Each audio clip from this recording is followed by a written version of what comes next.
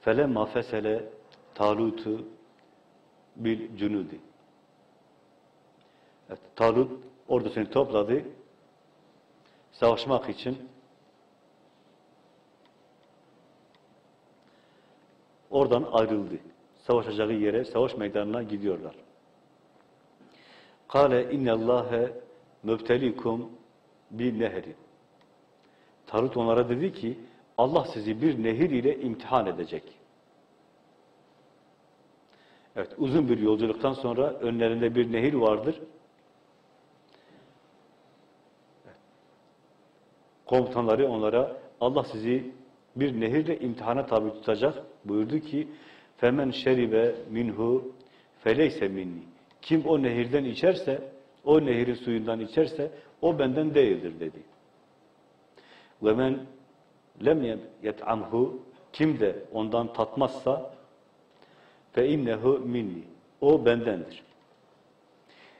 İlla men ihterefe gurfeten bi yedihi ancak bir avuç içen müstesna. Bir avuç içebilirsiniz. Ondan fazlasını içen benden değildir dedi. Sizin imtihanınız budur dedi. Allah sizi imtihan ediyor dedi yalnız. Allah böyle buyurmuş. O nereden biliyor bunu? Samuel söylemişti. Peygamberleri onlara söylemişti. Böyle bir durum var. Evet, uzun bir yolculuk yapılmış. Hepsi susamışlar. Evet, bu nehir sizin imtihanınızdır. Kim ondan içerse benden değildir, içmezse bendendir. Bir avuç istes, iç, içen müstesnadır. Bir avuç içebilir yani.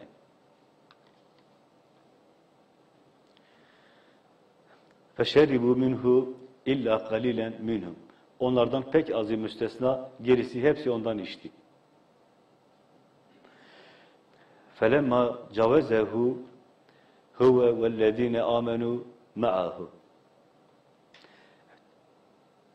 Tarut'la beraber olan müminler nehri geçtikten sonra قَالُوا لَا تَقَتَ لَنَا الْيَوْمَ بِجَالُوتَ وَجُنُودِهِ O suyu içenler dediler ki bugün bizim Carut'un Carut'la ve onun ordusuyla karşılaşmamız mümkün değildir.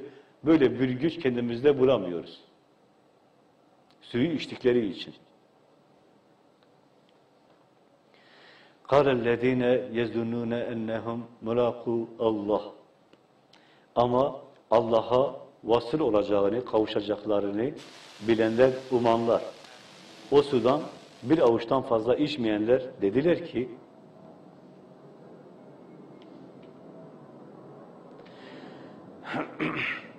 kem min fiyetin galiletin galebet fiyeten kesireten biiznillah nice çok az bir topluluk, az bir cemaat vardır ki çok kalabalık birçok cemaate evet, galip gelmiştir. Onlar suyu içmediği için gönüllerinde sekinet vardır. Allah'a güveniyorlar. İçenler bugün savaşmaya gücümüz yok dediler. İçmeyenler az olmalarına, pek az olmalarına karşılık ne dediler? Onların çokluğu önemli değil. Allah dilerse evet bizi onlara galip kılar.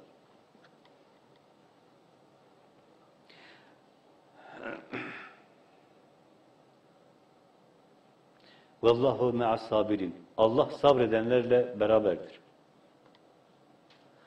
Evet, buraya kadar olan bölümü nasıl anlamak lazım? O peygamber önce o askerleri imtihana tabi tuttu. Allah imtihana tabi tutuyor.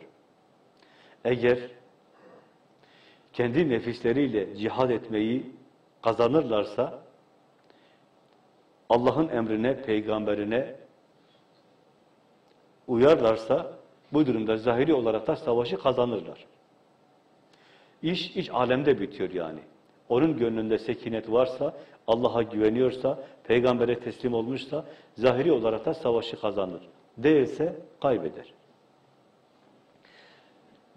O da önce fazlalığı temizledi, ayırdı. Yani bir şeyin özü vardır. Bir kap farz edelim. Bir de onun bürütü vardır. Yani cemaat ne kadar kalabalık olursa olsun o önemli değildir. Onun içindeki gerçekten net olana bakılır. Samimi olana, hakiki olana bakılır. Kaç kişi var? Bin kişilik bir cemaat olabilir ama bir kısmı gölge mesabesindedir. Bürüttür yani. Onların ayrılması gerekir. Allah yolunda onlarla cihada çıkılmaz demektir. Onun için evet, peygamber onları ayırdı. Kenarda durun. Peygambere uymadığı için. Evet. Zahiri olarak da onlar cihad edemezler. Çünkü gönüllerinde iman yok, sekinet yok, itaat yok. Zoru sıkıntıyı gördüler mi onlar darmadağın olurlar. Bu durumda ayrı durmaları daha doğrudur.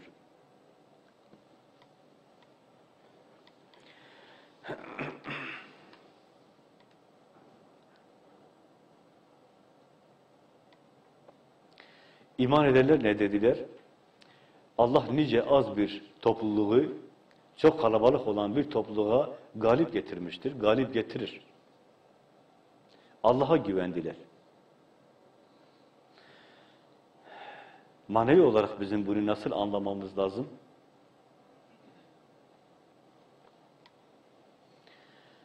Biri kendi nefsinden, nefsinin şerrinden kurtulmak istiyor, nefsini terbiye, tezkiye etmek istiyorsa, şeytandan kurtulmak istiyorsa, tabi olduğu zata ne yapması lazım? Kayıtsız şartsız uyması lazım. Bu ona lazım. Ona karşı gönlünde bir sekinetin olması gerekir. Bir güvencenin, güvenmenin olması gerekir. Yoksa ona uymaz. Uymadığında zaten savaşı kaybetmiştir. Peşinen kaybetmiştir. Kendisinde savaşma gücü bulamaz. Ben nefsime güç yetiremem der. Benim gücüm nefsime yetmiyor der. Ben yapamıyorum. Allah yapsın der. Evet, Yahudilerin Hazreti Musa'ya söylediği gibi ne demişlerdi? Gidin seninle Rabbin savaşın demişlerdi. Ama işmezse, ona uyarsa yani, imtihana tabi tutulduğunda, imtihanı geçerse ne olur? Allah ona güç verir. Gönlüne sekineti verir. Nefis düşmanı, şeytan düşmanı ne kadar güçlü olursa olsun, kendine güvenir. Ben bunu yaparım der. Ben kendimi onlardan kurtarırım der. Gönlümü de, bedenimi de, kendimi de şeytandan, nefs, nefisten kurtarırım der.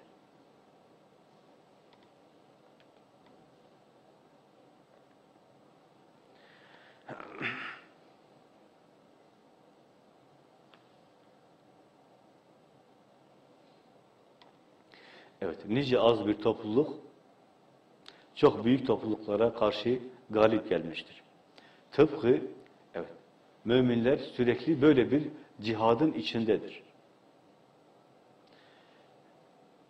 İmanı tebliğ ediyor. Allah'a davet ediyor. İmanı bütün insanlara, insanlığa tebliğ ediyor. Sayıları az olabilir. Ama bu önemli değildir. Nasıl ki bir avuç yoğurt 100 litre sütü 100 kilo sütü mayalandırır. Onu da yoğurt yapar. Evet. Müminler tarih boyunca hep az olmuşlardır. Onlara düşen nedir? Evet. Mayalamaktır. İman mayasıyla mayalamaktır. Az olmaları önemli değildir. Ama böyle mayalamayı eğer beceremiyorsa o zaten maya olamamıştır. İşi beceremiyor.